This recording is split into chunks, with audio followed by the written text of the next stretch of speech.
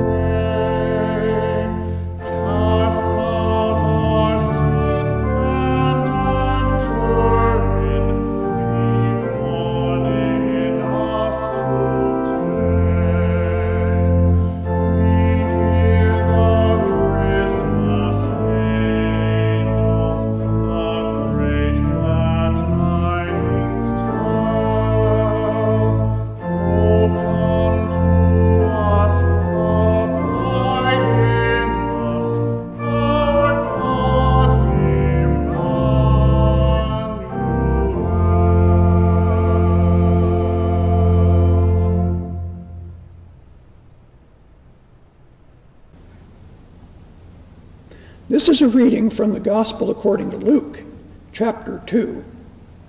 In those days, a decree went out from the Emperor Augustus that all the world should be registered.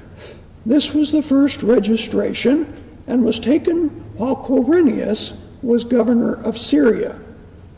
All went to their own towns to be registered. Joseph also went from the town of Nazareth in Galilee to Judea, to the city of David called Bethlehem, because he was descended from the house and family of David.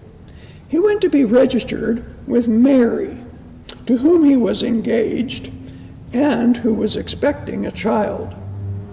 While they were there, the time came for her to deliver her child, and she gave birth to her firstborn son and wrapped him in bands of cloth and laid him in a manger because there was no place for them in the inn. In that region, there were shepherds living in the fields, keeping watch over their flock by night. Then an angel of the Lord stood before them, and the glory of the Lord shone around them, and they were terrified. But the angel said to them, Do not be afraid. For see, I am bringing you good news of great joy for all the people. For to you is born this day in the city of David a Savior, who is the Messiah, the Lord. This will be a sign for you. You will find a child wrapped in bands of cloth and lying in a manger. And suddenly there was with the angel a multitude of the heavenly host, praising God and saying, Glory to God in the highest heaven, and on earth peace among those whom he favors.